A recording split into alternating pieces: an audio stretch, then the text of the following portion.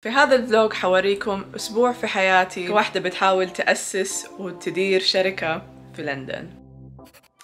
كاميرا جديدة لل vlogs. بدون مبالغة من أرهب كاميرات اشتريتها. وأكيد تعرفوا إني اشتريت كاميرات كثيرة. في حاجات كثيرة حوريكم في هذا الأسبوع. كمان لازم شوية نقعد نتكلم مع بعض. أبغى أفضفض لكم شوية. معلش بس قبل كل ده لازم فورا نركب القطار. نروح المكتب. الحقوا ال backpack الجديدة اللي اشتريتها؟ مرة رهيبة صح؟ وتبان صغيرة بس تكفي كل شيء. من شركة اسمها Bellroy شركة في أستراليا. وال quality الجودة خرافية. جوا حاطة اللابتوب وحتى في عندي قارورة موية. فنانة. أول يوم ألبسها عشان كده مرة متحمسة. حنعبي الآيباد ونمشي.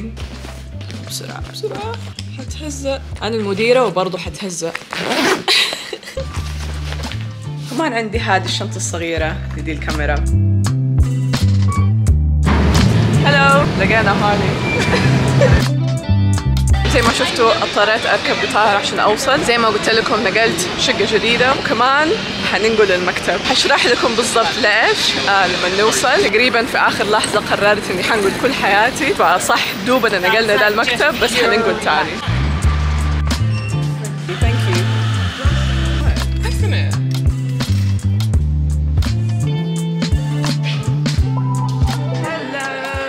وصلنا المكتب أخيرا. عشان أنا بننقل ما حبينا نسوي أي شيء تاني أي شيء جديد في ذا المكتب. إن شاء الله في المكتب الجديد عندنا حاجات مرة كثيره وأفكار مرة كثيره حنسويها. عشان يمديني أصور برنامج هرجة وفي نفس الوقت أصور فيديوهات ليكم أنتو على قناة جنى هشام. وعلى سيرة هذه القناة في موضوع مرة مهم. طبعا كنا زمان جنى Vlogs ودحين بس حبيت أغير الاسم عشان أحط اسمي. طبعا مو معناتو حنقطع على ال vlogs عشان زي ما شفتوا هذا vlog بس حبينا نطور الفيديوهات ونحسن الجودة ونسوي أفكار جديدة. ومو كلها حتكون vlogs أمس واليوم قعدت أغير كل ال thumbnails القديمة على دي القناة. بجددها وطورها. والصراحة جاني حزن مو طبيعي لما اتفرجت على كل ال vlogs القديمة. أول مرة أتفرجها من يوم ما نزلتها قبل سبعة ثمانية سنين بالذات لما شفت ال vlogs في بيت جدتي الله يرحمها. بس جالسة أبكي وأنا بشوف الفيديو بس في نفس الوقت اتحمست إني أسوي لكم vlogs جديدة. الحين برضو حكمل أخلص كل ال thumbnails الجديدة. عشان إن شاء الله اليوم حنزل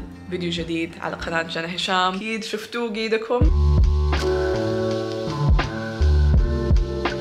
hi okay اشتغلنا شوي على ال thumbnails الجديدة. باقي لي صفحة واحدة من الفيديوهات بس ماني قادرة أكمل حموت من الجوع. الساعة واحدة وثلث فحنزل بس أشتري شيء آكله بسرعة وأرجع أكمل. يا جماعة بدون مبالغة هذا أطعم دجاج. من محل تركي اسمه قربوز حرفيا بس كشك. يجي هنا في ال market في وقت ال lunch. هذا الشيء الوحيد اللي حيوحشني عند المكتب لما ننقل. عبارة عن دجاج مشوي بالسلطة. مم. الساعة ستة إلا تلت. مرة فيها تعب. البنات دحين ماشيين. bye bye أنا لسه ما حمشي عشان ما خلصت كل ال thumbnails باقي لي حوالي باقي لي 8 ما حأمشي لين ما أخلصها عشان أقدر أنزل الفيديو الجديد. حسبت إنه لو خرجت من شغلي حيكون عندي وقت مرة كتير للفيديوهات. بس في مليون شيء لازم تسووه لما تديروا شركة. فهذا الشيء بتعلمه دحين. حرفيا حاسة ما عندي وقت أسوي ولا شيء في حياتي. بشتغل كل يوم لين الساعة 9 في الليل. معظم الشغل على سناب شات. بس طبعا من أهدافي إني أنجح دي القناة. وتعب go home. Bye. Bye. I don't know any cute Arabic words. Masalama. Oh, masalama. باقي بس أنا لوحدي. شوي وحتصير الساعة ستة. هذا الشيء لازم تعرفوه لو تبوا تأسسوا شركة. دائما أنتوا حتكونوا آخر ناس في المكتب. بالذات في البداية أنا آخر وحدة في المبنى كله. آخر يومين مشاعري. الإنسان يعني إنه يشوف كل حياته من قبل خمس سنين كل اللحظات اللي صورها. إحساس ما أقدر أوصف لكم الإحساس. افتكرت نفسي لما كنت في ذاك السن. كان عمري 21 22 لسه ما كان عندي ثقة في نفسي. ما كنت عارفة إيش بسوي في حياتي. ما كنت عارفة نفسي يعني. لما أشوف البنت في فيديوهات جانا vlogs أحس مين أنتي؟ نفسي كده أرجع وأكلمها وأديها نصايح. كل الفيديوهات اللي سويناها وكل التعب على ال social media وصلني لدي المرحلة حاليا. الحمد لله عندي شركة ناجحة في ال social media فبس الحمد لله على كل شيء. على فكرة لما تشوفوا شعري منكوش زي كده تعرفوا إنه stress هنا. hi okay دوبي صليت. بس كنت جالسة أفكر قديش المكتب مكركب. لا تحكموا عليه زي ما هو دحين. عشان زي ما قلت لكم حننقل. فحاليا بس كده سايبينه مكركب. اضطريت أحرك دي الطاولة. كانت زمان هنا. هذا ال set حقي حق برنامج هرجة. لو ما شفتوا برنامجي هرجة على سناب شات. روحوا تابعوني. في كل حلقة أديكم هرجة من الغرب. فهنا نصور هرجة. هذا ال background حقي. بس طبعا صار مرة ضيق في المكتب مو زي زمان. أنا وهالي الأسبوع اللي فات رحنا شفنا المكتب الجديد. خلاص حجزناه وكل شيء. بس لسه بيبنوه عشان كل شيء في المكتب جديد. ولسه ما خلص. فرحنا شفناه وقسنا الغرفة عشان نجهز ال sets الجديدة اللي حنسويها في المكتب الجديد إن شاء الله. فبس بنمشي في دي المساحة على بال ما ننقل للمساحة الجديدة. خليني أجلس وأشرح لكم اللي حصل إنه في أكتوبر السنة اللي فاتت أبويا الله يعطيه العافية دخل المستشفى جلس فترة يعني أكتوبر نوفمبر ديسمبر لين January. ففي ذيك الفترة قررت أخرج من وظيفتي عشان يكون عندي وقت زيادة أقضيه مع أهلي. فأخذت المكتب اللي جنب شقتي القديمة. بس بعدين كذا بعد فترة استوعبت أنا ليش هنا؟ يعني هذه المنطقة تعتبر كأنها وسط البلد فمره غالي على الفاضي وأهلي مو هم قريبين من دي المنطقة. هذه في الشرق وهم في الغرب ولندن مدينة كبيرة. يعني كنت لما أوصل من شقتي لشقة أهلي أخذ ساعة في السيارة. فلما استوعبت ما في شيء مخليني هنا فورا قررت إني حنقل طبعا هذه الميزة لو أسستوا شركة لوحدكم أنتوا تختاروا فين المكتب تختاروا فين تبغوا تعيشوا. فقلت لازم أستغل دي النقطة. الساعة سبعة وربع. جالسة أطلب أكل. ما عندي أمل أرجع أتعشى. حطلب من شيبوتلي جبنا الأكل. طلبت سلطة مع beef. ما عندي وقت. لازم آكل وأشتغل. شوي وحتصير الساعة تسعة. دوبو أدن المغرب بس. أخيرا خلصنا كل ال thumbnails الجديدة. خليني أوريكم. yay لما أقول لكم في غباء مو طبيعي. من كتر ما أظن لي فترة ما نزلت فيديو على دي القناة نسيت تماما إنه أنا أسوي الترجمة بالإنجليزي وتاخذ مني ممكن ساعة أو ساعتين. ولو تأخرت أكثر من كده كمان أول شيء شوي يخوف صار مرة ظلام. ثاني شيء ممكن يفوتني آخر قطار. ثالث شيء مين صاحي يتفرج الفيديو؟ على بال ما أرفع وأسوي الترجمة وأسوي الثمنيل ما حيجيكم غير خمسة الفجر. والله حاولت يا جماعة.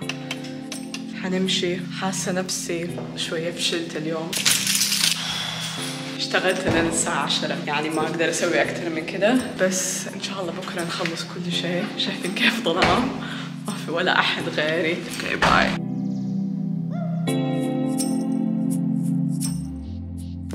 حاليا الساعة سبعة ونص في الصبح. أول شيء حنسويه حنروح النادي. مرة تعبانة. بس بحاول أروح النادي في الصبح عشان أخلص. دوبي جريت على السير شوية. الحين بس بسوي stretching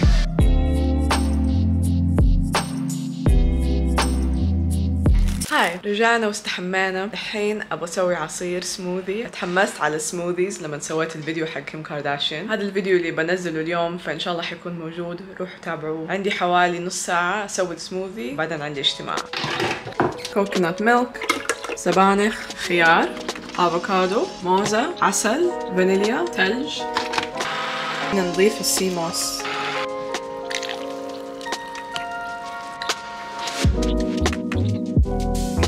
أخذت break بسيط عشان آكل بيضتين مسلوقة. كمان بشرب شاهي بال oat milk حطيت فيه ملعقة كولاجين كولاجين مرة مفيد للبشرة للعضلات للجسم.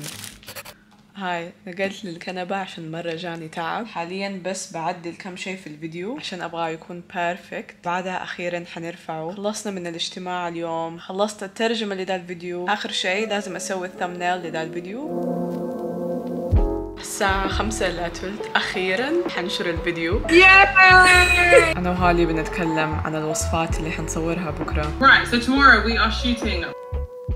There was another video actually which could be interesting.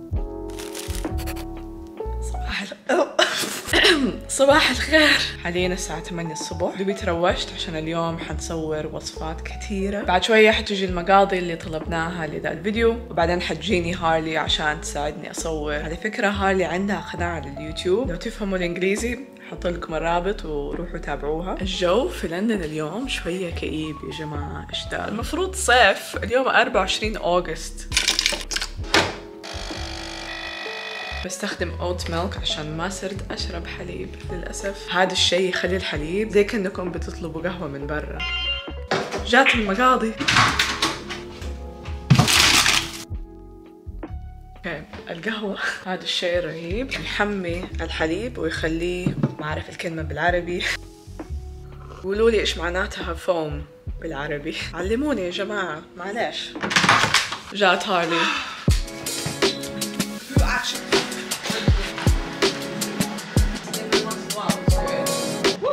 حرفيا ما أعرف إيش بسوي. جاهزين. خلصنا واحدة وصفة دحين بنشتغل على تاني وصفة. بنصور بدي الكاميرا. طبعا عندنا اللمبة دي للإضاءة. وكمان طبعا إضاءة الله سبحانه وتعالى. بنسوي وصفة الخيار المشهورة على تيك توك. أنا دوبي قطعت دي ومرة تحمست. دحين وقفنا تصوير. وهارلي بتقطع الباقية.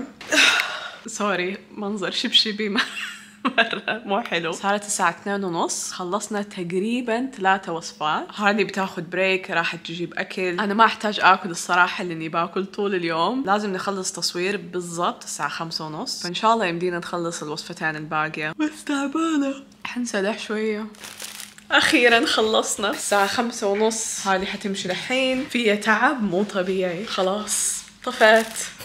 hi يا جماعة. اليوم يوم الجمعة معناته آخر يوم شغل في الأسبوع. زمان لما كنت موظفة وفي نفس الوقت بحاول أسوي فيديوهات كنت أشتغل تقريبا كل weekend لما يجي weekend وما أشتغل أحس إني بسوي شيء غلط. بس دحين أنتم شايفين طبعا قديش بشتغل. لازم أدي نفسي break وآخذ weekend وآخذ وقت. أسوي حاجات ما لي علاقة بالشغل. لو ما سويت كذا أظن حتجنن. المهم دائما أجيكم في ال vlog دوبي مستحمية وشعري مبلول. الساعة واحدة ونص. معظم اليوم اشتغلت على قناتي هرجة. إن شاء الله حروح المكتب بعد شوية عشان أصور الحلقة. هذا تقريبا آخر شيء لازم أسويه اليوم. حاليا بكتب الكلام اللي حقوله عن إيمي واين هاوس المغنية البريطانية اللي مرة انشهرت بعدين فجأة ماتت. القصة مرة كئيبة. حاسة نفسي دخلت في اكتئاب. المهم باكل oats porridge معها شوية عسل وكمان زودت حبة سودا مرة لذيذ. okay. صارت الساعة خمسة دوبي أخيرا خلصت السكريبت. بس عشان أتأخر الوقت بدال ما أروح بالقطار حروح بالسيارة.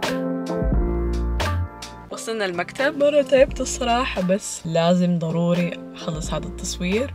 بعدين خلاص ما حتشوفوني تاني في ذا ال vlog. أول شيء حسويه حاخذ المراية. هاي شوفوا أنتوا هنا. أحط شوية make up بعدين حجهز الغرفة للتصوير. أول شيء نولع هذه اللمبة الخضراء. طبعا نقفل لمبات المكتب. بعدين نشغل دي اللمبة.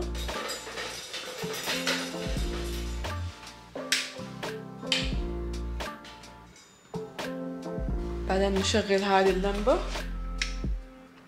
هذه اللمبة تولع على الأرفف اللمبة الكبيرة دي لوجهي. والخضرة طبعا لل background عشان لون اللوجو حق هرجة أخضر.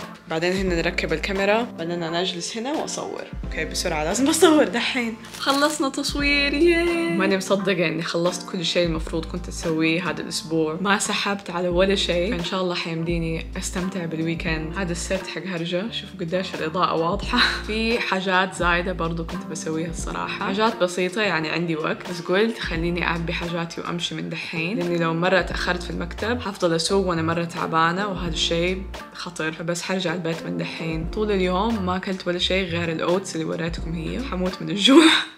خليني أرجع البيت وآكل وأكمل الحاجات الباقية على روقان.